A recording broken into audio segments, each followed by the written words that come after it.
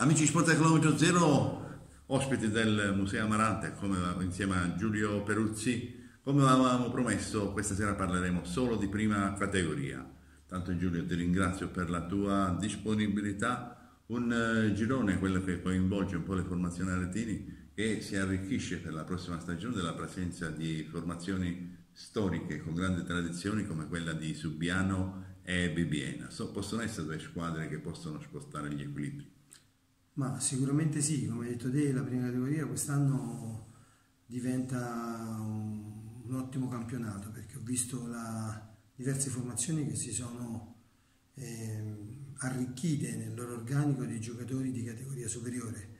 E per questo sia la prima categoria e la promozione sono due campionati che quest'anno sicuramente avranno qualcosa in più rispetto alla passata stagione.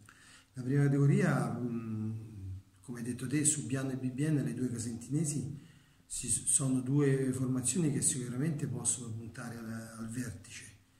Il BBN ha, del, ha, riportato in panchina Bronchi e ha fatto degli ottimi acquisti, eh, Lunghi, Sorbini, Lazzeroni, Maraghini, Razzoli, insomma tanti giocatori che sicuramente in questa categoria possono fare la differenza.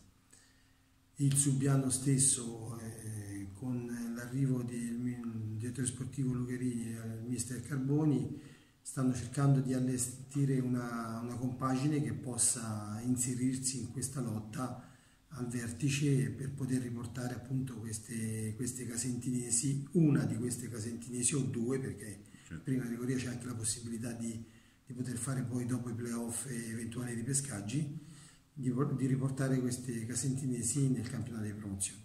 C'è anche il vice maggio che riparte da Bracciali, però che perde giocatori importanti come un Dinefei e arrivano Gironi e Pedolini.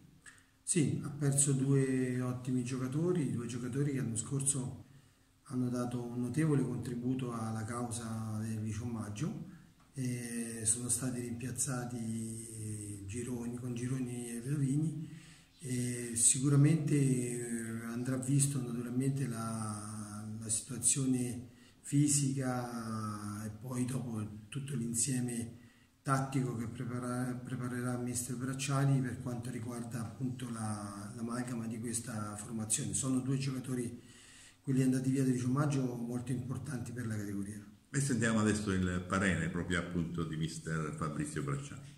Il nostro, il nostro punto di forza, quello che eh, chiaramente dovendo sopperire a altri, altri mancanze. problemi, mancanze che abbiamo, dobbiamo lavorare sodo e soprattutto lavorare tutti insieme, se no diventerebbe molto molto molto molto difficoltoso anche in vista di, del prossimo campionato.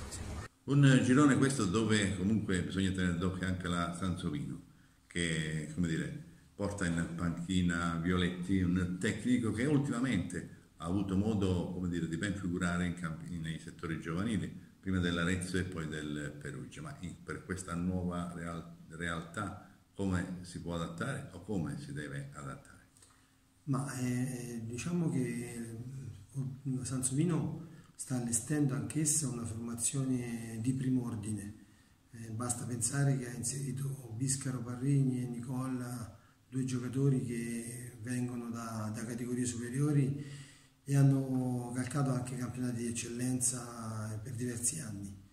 E il nuovo allenatore che sarà Violetti naturalmente ha fatto negli ultimi anni notevoli esperienze nei campionati giovanili Arezzo, sono baterato anche San Sepolcro e Perugia e sicuramente sei un tecnico preparato. Ora naturalmente c'è c'è differenza tra, tra settori giovanili e prime squadre, però reputo Violetti un tecnico preparato, ora tutto eh, starà a vedere il fatto della conoscenza del, dei calciatori e del campionato stesso, perché sono cose importanti sia nella soprattutto nella costruzione per, per poi dopo andare ad, a mettere in campo il sistema che riterrà più opportuno.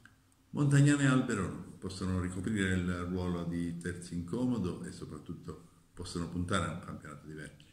Ma sicuramente sì, sicuramente sì, insieme anche alla Valdichiana, sono, in quella zona lì sono, ci sono degli, delle squadre eh, come hai detto tu, Albero Oro, Montagnano, MC Valdigliana, che possono dare del filo da torcere alle, diciamo, alla favorita, che sicuramente la favorita in primis credo che sia il Bibbiena.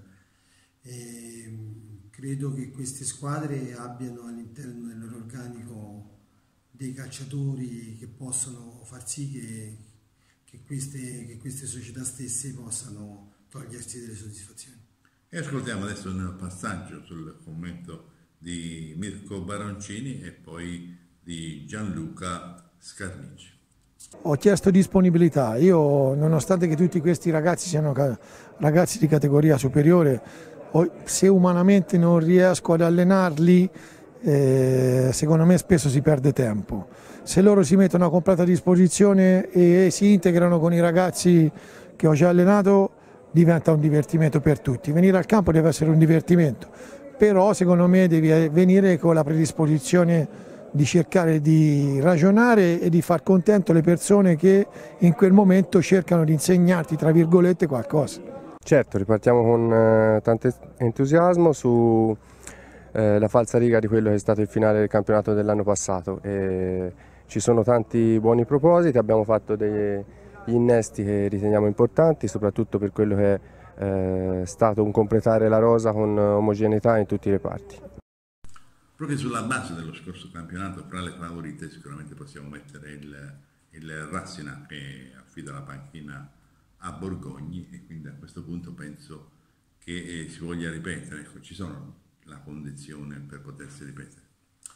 Ma eh, Rassina l'anno scorso ha fatto un ottimo campionato eh, avendo un organico di prim'ordine, credo che era anche una delle favorite alla vittoria finale. Naturalmente ha perso l'ultimo spareggio con, con, il San Quirico e ora bisognerà vedere ne, nella, appunto nella costruzione della squadra quanti e quali di quei giocatori, perché già ho visto che De Luca è andato via l'attaccante, è andato via Razzoli il centrale difensivo, cominciano a perdere delle pedine abbastanza importanti e bisognerà vedere queste pedine importanti come verranno sostituite dalla, dalla squadra casentinese, se verranno sostituite adeguatamente e sicuramente anche il Rassina sarà una insieme a quella che insieme alle squadre che prima abbiamo citato a fare un campionato di, di vertice di, di, per puntare naturalmente ai playoff sicuramente. Giulio, per concludere, una battuta sull'Olmo Ponte, una formazione neopromossa che sicuramente ritrova la prima categoria dopo qualche anno d'assenza e sarà vorrà tenere stretto. Sì, l'Olmo Ponte sicuramente eh, essendo una neopromossa viaggerà soprattutto all'inizio sulle ali dell'entusiasmo è normale che poi dopo dovrà fare i conti con, la, con, il campionato stesso dove come abbiamo detto precedentemente si annoverano eh, diverse formazioni che hanno costruito delle, degli organici importanti. L'Olmo Ponte sicuramente farà, cercherà di fare un campionato tranquillo, ci saranno anche altre squadre che cercheranno naturalmente di evitare i play-out. Certo. poi ancora dobbiamo valutare anche la formazione del girone perché ad oggi penso fra un, verso fine mese si sapranno appunto le composizioni dei vari gironi dei campionati dilettantistici a quel punto lì potremmo, un, diciamo, potremmo fare una disamina più completa eh, del campionato stesso, sia di, di, prima categoria ma anche di tutti gli altri, avendo a disposizione i gironi, avendo a disposizione gli organici ormai completati. E naturalmente a quel punto potremmo spendere qualche parola in più su, su chi, sugli obiettivi delle varie società e, sul, e sugli organici costruiti per raggiungere questi obiettivi.